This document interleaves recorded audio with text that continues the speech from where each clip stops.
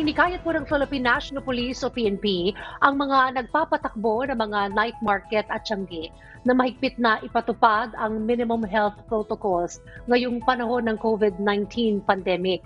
Ayon po kay PNP Chief Police General Guillermo Eleazar, dapat gumawa ang mga may-ari ng mga katulad na establishmento na mga pasilidad para sa mas madaling sundin ang mga health protocols. Sinabi naman ng Metro Manila Development Authority o ng MMDA na maglalabas ang Interagency Task Force on COVID-19 ng guidelines para sa operasyon ng mga night market at tiyangge. Kamakailan, inilagay ang buong Metro Manila sa mas magaan na alert level 3 status hanggang sa katapusan ng Oktubre.